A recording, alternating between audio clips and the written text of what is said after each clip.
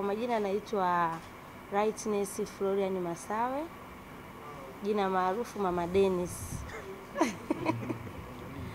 Ehe, yaani kiukweli, kwanza kabisa kabla ya kutangazwa kuwa mshindi, nikiwa sebleni, yeye alikuwa chumbani, amerudi kazini, akaniita.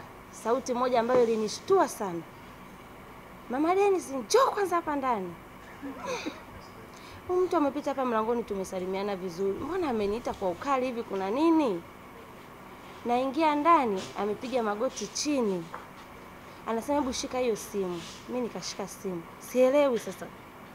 Kwa kawaida ya kubeti, nafahamu anabeti kila siku, yaani akitoka kazini, yeye akiingia ndani pale ni kuoga, anakaa kwenye meza yake, ana laptop, ana simu zake mbili. Hata watoto huwa wanamuuliza baba, kwa nini wewe kila siku ukitoka kazini unakaa kwenye hii meza? Wanamwambia mi hapa nipo kazini, hapa ndo ofisini kwangu. Na wakati huo watoto wote wakishaambiwa hivyo tu wanajua kabisa baba hahitaji kelele, wanatoka nje. Kwa hiyo alivyoniita akaniambia, nimeweka hii mikeka, lakini toka toka asubuhi, siku nzima ya leo sijaangalia. Nimerudi hapa sasa hivi naangalia mechi kumi na tano mechi kumi na moja zimesha eh, kumi na mbili nimeshapata, bado hii moja hapa. Nikamwambia umempa nani? Inaitwa nini? Sorry, Real Solidarity eh, eh, eh, eh. wako moja moja. Mungu nisaidie mimi hii hela ije kwangu. Kiukweli mimi alivyonionyesha vile, na huwa naona kila siku huwa anapata laki moja elfu hamsini inategemea na anavyoweka, lakini nilikuwa nateseka sana. Akiweka mkeka wa elfu kumi silali, Kwa nini? pressure nyingi. nilikuwa nateseka kwambia elfu kumi na nyuma, nikiweka wa elfu moja elfu mbili siumii, elfu kumi yangu mimi itaondoka. Naambia sasa, hizi pressure zote za nini? Siuache pale, lazima ah, mimi siachi. Nikamwambia haya, utalala ukiamka saa nane ya usiku unaona tu mwanga wa simu. Wewe vipi, ulali? Siri li timu moja la kipuzi hapa limeniferisha. Eh, haya, tukaenda hivyo hivyo ikafika hatua kuna mikakati mingine nikawa namwambia baba Dennis, nimetengeneza kibubu hiki hapa, tuweke humu. Mungu ametujalia tumepata nyumba, tudundulize, tununue gari. Akanambia mimi gari siwezi kununua kwa pesa yangu inayotoka mfukoni, gari nitanunua kwa pesa nitakayompiga huyu muhindi.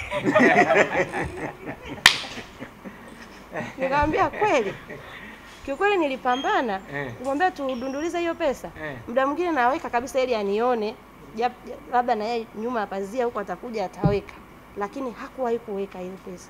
Mimi siweki kabisa.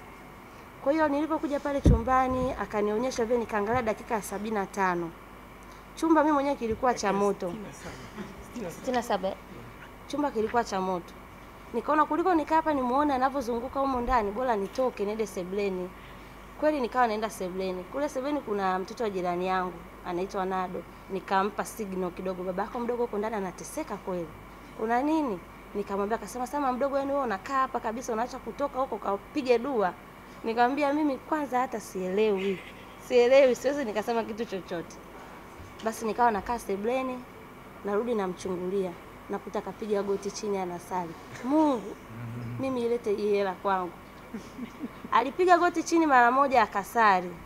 Alivyonyanyuka akasema sitapitapi tena, hii pesa ni ya kwangu. Na kweli akakaa kwenye kiti akatulia.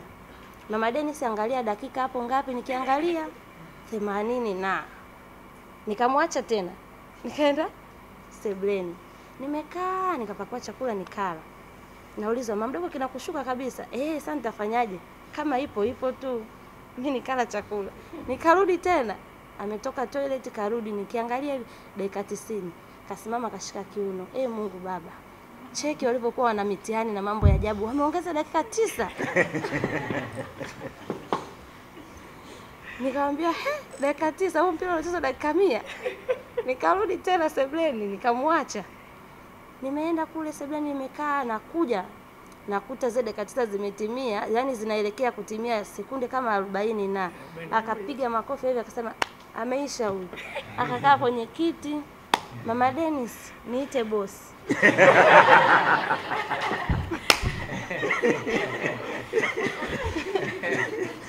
niite bosi, niambia niambie bosi wangu. Unakumbuka kuna kipindi nilikwambia wewe utakuwa meneja wangu, sasa wewe ndio meneja wangu, umenielewa? Haya, kaa hapo chini tusubirie simu yao. Haya, mimi nikakaa. Bwana we, hapana, ngoja ni screenshot mara nne hao wasije wakaniletea mimi mambo ya ajabu ajabu, niwe na ushahidi wangu hapa. Aka screenshot kidogo, message inaingia, hongera na pesa. Kaniambia Ah. haya, njoo njoo njoo njoo, njoo, umeona hii pesa imesoma hapa. Sasa bado simu, pesa imesoma, ila simu nipigiwe. Kweli tumekaa kama dakika Mbili. kadhaa tu hivi, simu ikaingia. Aya, njoo njoo njoo, sogea hapa, sikiliza. Naweka loudspeaker kabisa, akawa anaongea. Ale, unaongea na ndugu fulani? Eh, ndio mimi. Kikweli mimi nilinyanyuka nikawaacha waendelee kujimwaga.